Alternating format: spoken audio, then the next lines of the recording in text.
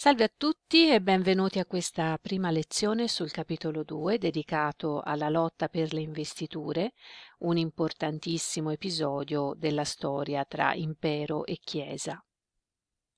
Prima di parlare della lotta delle investiture propriamente detta, dobbiamo vedere che cosa era successo alle due grandi istituzioni che ne sono coinvolte, cioè l'impero e la Chiesa.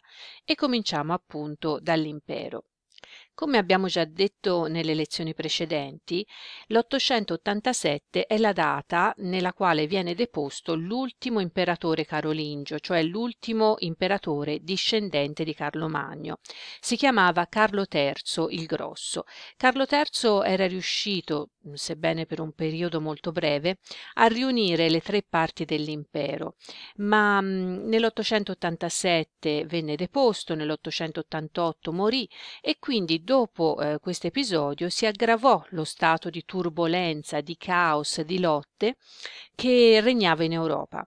Perché? Eh, perché i grandi feudatari, cioè i grandi signori che eleggevano il re, erano sempre più inclini a ribellarsi, in maniera da appoggiare un altro candidato ed ottenere così eh, guadagni, riconoscenza, premi. Questo periodo di disordine Mhmm, che durò molto a lungo, durò almeno per eh, cento anni, mhmm, non impedì che si formassero eh, delle compagini statali, delle formazioni statali più o meno stabili. Di queste, eh, le quattro importanti sono il regno dei Franchi occidentali, che sarà poi il nucleo della futura Francia, il regno dei Franchi orientali, da cui poi nascerà la Germania, e il regno di Borgogna, in seguito assorbito dalla Francia, e il regno d'Italia. Andiamoli a vedere nella cartina.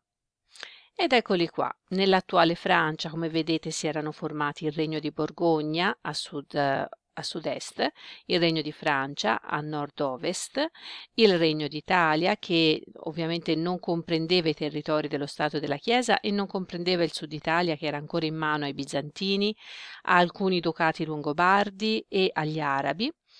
Ma il più importante, il più grande e anche il più potente di tutti era sicuramente il regno dei Franchi orientali, la futura Germania, che però, come potete ben vedere, si era suddiviso in tanti ducati, in tanti, ehm, tante mh, mhmm, compagini statali più piccole, regionali, che però erano estremamente importanti, come vedremo. Ma trattiamolo uno alla volta. E cominciamo dal Regno di Francia. Dunque, eh, nel Regno di Francia eh, la corona dei Franchi occidentali, appunto, era passata nell'anno 987 nelle mani del conte di Parigi, Ugo Capeto. Con Ugo Capeto ebbe inizio la dinastia dei Capetingi e questa dinastia era destinata a durare, era destinata a regnare sulla Francia per molti secoli. Fino al 1328 regnò proprio in linea diretta, cioè con una serie di primogeniti che si succedettero al trono. Dopo il 1328 cominciarono a subentrare sul Regno di Francia i cosiddetti rami cadetti, cioè la discendenza dei figli non primogeniti. Comunque, cadetti o primogeniti che fossero, si trattava sempre della stessa dinastia, della stessa famiglia, appunto i Capetingi. Tant'è vero che nel 792, in piena rivoluzione francese, quando processarono il re, quando i francesi processarono Luigi XVI, non lo chiamarono appunto Luigi XVI, ma in tutti gli atti del processo eh, il re veniva definito semplicemente Luigi Capeto, il cognome appunto deriva da, questa, da Ugo Capeto, dal suo, eh, dal suo avo. Nel regno dei Franchi orientali, invece, come abbiamo detto, si erano affermati questi grandi ducati regionali, la Sassonia, eccola quassù, eh, la Lorena, qui, la Franconia, qua nel centro, la Svevia, un po' a sud-ovest, eh, la Baviera e anche ovviamente il regno di, Bo- di Boemia. Questi duchi, questi capi di Stato, eh, questi feudatari, erano costantemente in lotta per la corona. Agli inizi del X secolo, quindi inizi del Novecento e precisamente nel 919, a prevalere era stata la casa di Sassonia con Enrico I l'uccellatore che era stato eletto re di Germania eh, appunto in quella data. Ma scendiamo in Italia e vediamo qual era la situazione. Come vi dicevo, eh, il Regno d'Italia comprendeva solo un'area abbastanza ristretta, cioè l'area eh, settentrionale della penisola e parte delle regioni centrali, eh, questa che vedete colorata in verde. Restavano escluse le terre amministrate dalla Chiesa, nella cartina in giallo, il meridione, eh, le isole, dove esistevano ancora i vecchi ducati longobardi, questi colorati in rosa, e mm, l'imperatore di Bisanzio eh, controllava, come vedete, la Puglia e la Calabria. Eh, in mani arabe, appunto, abbiamo detto, era la Sicilia. Il regno, eh, quindi il regno d'Italia, questa parte del nord Italia, era anche qui in questo caso segnata da lotte continue tra i feudatari che di volta in volta ne assumevano la corona ed era minacciato a nord dai sovrani germanici molto più potenti e a sud dalle mire del papa quindi era un regno molto instabile e infatti come vedremo non durerà molto tempo come abbiamo visto, quindi, eh, l'Europa, il vecchio impero carolingio, era adesso suddiviso in quattro parti, quattro regni, quattro compagini statali estremamente instabili, con una nobiltà litigiosa che continuamente cambiava alleanze e cercava di imporre il proprio predominio sulle altre casate. Una situazione che ovviamente non poteva durare e infatti ben presto eh, cos- le cose cambiarono e tornò a esserci un imperatore, un potere forte, un, una casata che cominciò a essere più importante e più forte delle altre. Si tratta proprio di quella casata di Sassonia di cui vi parlavo prima. Nel Novecentodiciannove, infatti, Enrico I l'Uccellatore era stato eletto re di Germania. Suo figlio, Ottone I di Sassonia, venne eletto a sua volta re di Germania nel 936 e poi si pose in mente l'obiettivo di allargare il suo potere. L'occasione giusta per impossessarsi anche del Regno d'Italia giunse nel 950. Si tratta di una storia veramente particolare, se, senz'altro non essenziale, però che è molto interessante conoscere. Cosa era successo? Era successo che in Italia, nel Regno d'Italia, con tutte queste lotte tra feudatari per prendere il potere, eh, la regina Adelaide, vedova del precedente re d'Italia, Lotario II, era stata eh, era stata imprigionata dal marchese di Ivrea, Berengario, che aveva appunto, le aveva ammazzato il marito e poi l'aveva imprigionata. Eh, Adelaide riuscì a fuggire non da sola, ma con l'aiuto di un, uh, un altro feudatario, eh, Aldalberto Atto, che poi sarebbe stato premiato e era, sarebbe diventato il fondatore della dinastia dei Canossa, di cui parleremo anche in seguito. E Adelaide appunto una volta eh, fuggita era riuscita tra varie peripezie a raggiungere la Germania. Qui era andata a trovare Ottone I che l'aveva ricevuta e la giovane gli aveva chiesto di diventare suo marito, quindi si era offerto a lui in matrimonio. Ottone I non si fece sfuggire l'occasione, sposò Adelaide e mm, con la scusa appunto di recuperare il regno d'Italia che a questo punto diceva appartenere a lui, Scese in Italia, sconfisse Berengario a Pavia e guadagnò così la, colo- la corona d'Italia nel 951. Quattro anni più tardi eh, Ottone vinse una grande battaglia, una battaglia importante perché segnò la fine delle incursioni degli Ungari, la battaglia di Lechfeld presso Augusta, e, eh, in, e, successivamente negli anni 60 del Novecento riuscì anche ad ottenere la corona imperiale. Venne infatti eh, eletto imperatore, venne, scusate, non eletto imperatore, ma incoronato imperatore a Roma nel 962 da Papa Giovanni XII. Vi potrete chiedere come mai ci fosse bisogno dell'incoronazione papale. Eh, perché si doveva fare così. Carlo Magno, che era stato il primo imperatore del Sacro Romano Impero, aveva in qualche modo istituito una tradizione. Per diventare imperatori bisognava essere re d'Italia, perché la corona d'Italia si legava ovviamente all'ascendenza romana, e si doveva essere eletti a Roma in San Pietro dal Papa. La corona doveva essere posta sul capo del nuovo imperatore dal pontefice. Questa mh, trafila è obbligata e la vedremo, eh, se, vedremo che la seguiranno tutti gli imperatori della storia. Con Ottone eh, riprese vigore in Europa l'impero, però secondo una nuova forma. Non si chiamerà più il Sacro Romano Impero, ma si chiamerà Sacro Romano Impero di Nazione Germanica o Sacro Romano Impero Germanico per far prima. Rispetto all'ampiezza di Carlo Magno, questo nuovo impero era però molto più piccolo.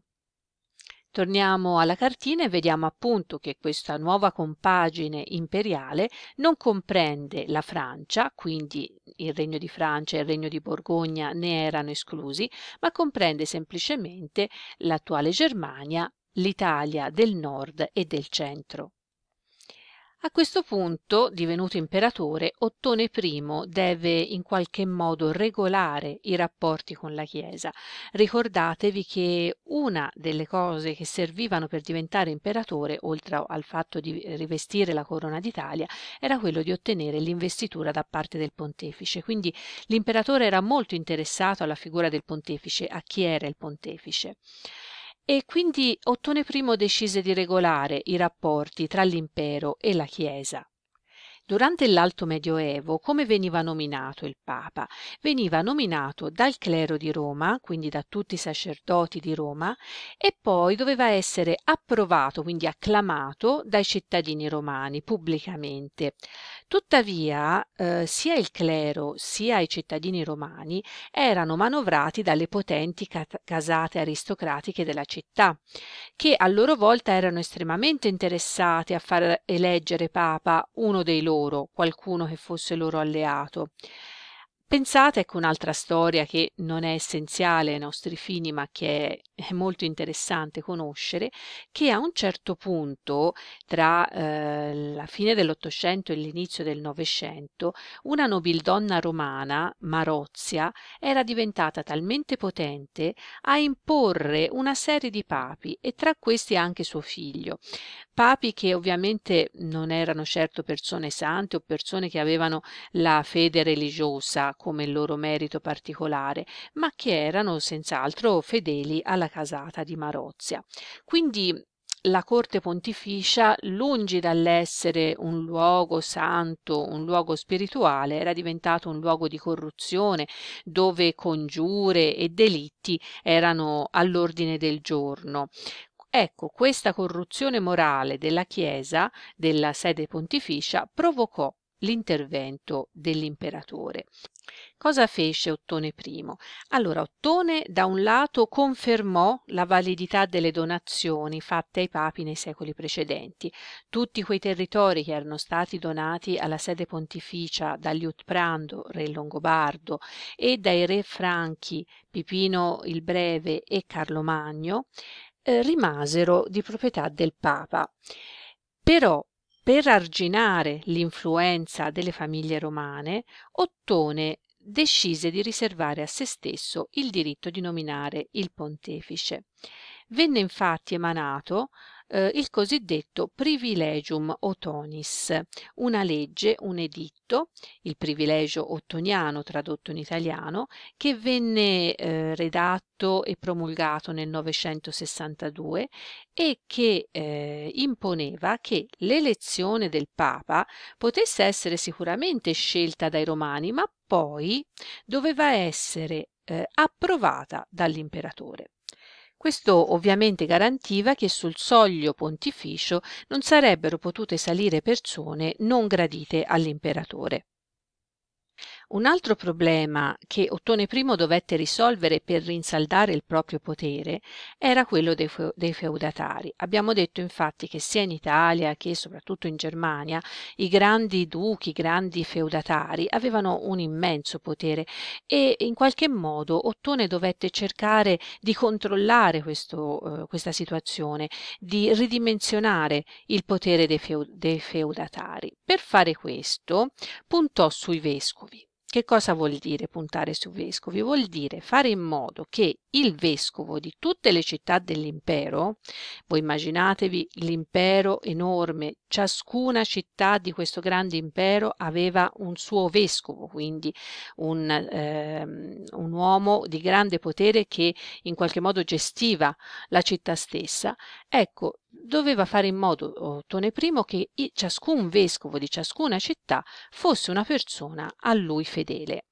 E come poteva farlo? Beh, ovviamente doveva sceglierli, doveva scegliere i vescovi della, eh, delle singole città. Come si faceva a scegliere i vescovi? Beh, mediante l'investitura. L'investitura è una cerimonia specifica, un atto con cui un potente conferiva al suo vassallo un feudo e lo autorizzava con questo atto ad esercitare il potere su questo feudo, cioè su questo territorio, e a goderne i proventi. Il signore manteneva la proprietà della terra, eh, e alla morte del feudatario poteva riprendersela. Quindi che cosa successe? Successe che i vescovi vennero scelti da Ottone, dall'imperatore, che consegnò loro un feudo con tutte le annesse prerogative amministrative, giudiziarie, militari e anche e soprattutto economiche.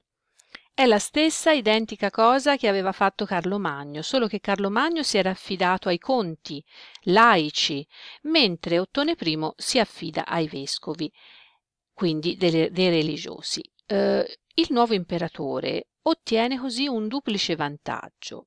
In primo luogo i vescovi, siccome non potevano sposarsi, era impedito eh, ai vescovi di sposarsi, potevano sposarsi soltanto i sacerdoti. Ecco, i vescovi appunto che non potevano sposarsi non potevano avere figli legittimi a cui trasferire l'incarico e il beneficio così sarebbe tornato sicuramente nelle mani del sovrano.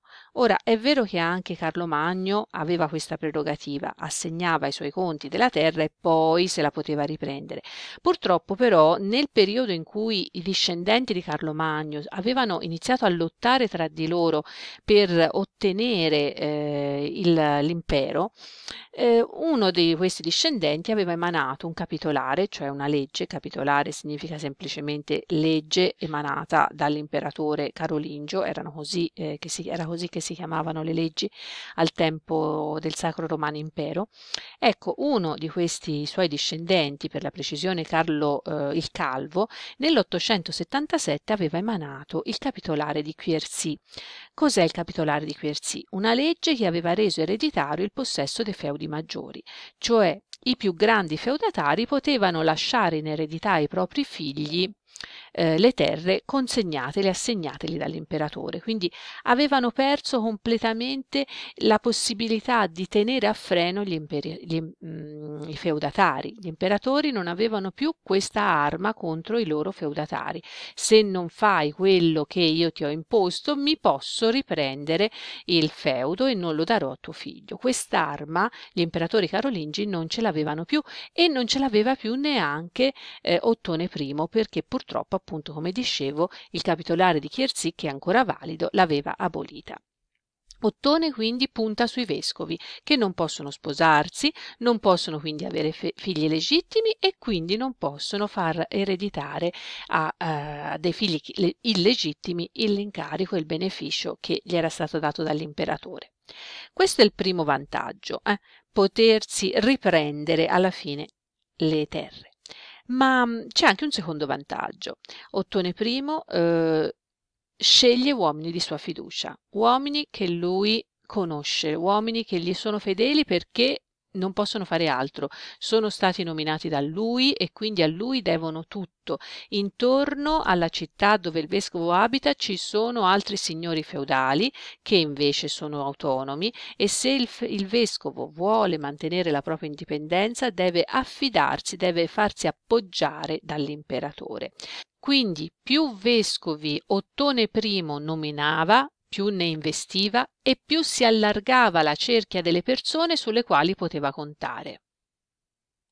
Quindi, riassumendo, nella seconda metà del Novecento, il X secolo, un imperatore della casata di Sassonia, Ottone I, riesce a impossessarsi del potere, riesce a ottenere la corona di Germania prima, poi la corona d'Italia ed infine essere nominato imperatore eh, in San Pietro dal Papa e dopodiché questo imperatore comincia a controllare il suo impero, cioè comincia a rafforzare il suo potere. Prima controllando la Chiesa con il privilegium motonis, assicura al, all'imperatore il controllo della nomina del pontefice e poi con la nomina dei vescovi. Nominando i vescovi, l'imperatore ottiene non soltanto il controllo della Chiesa, ma soprattutto ottiene il controllo del territorio, ottiene degli alleati su tutto il territorio dell'impero, poiché i vescovi gestivano le città, si trovavano nelle città, quindi eh, in qualche modo ridimensiona il potere dei grandi feudatari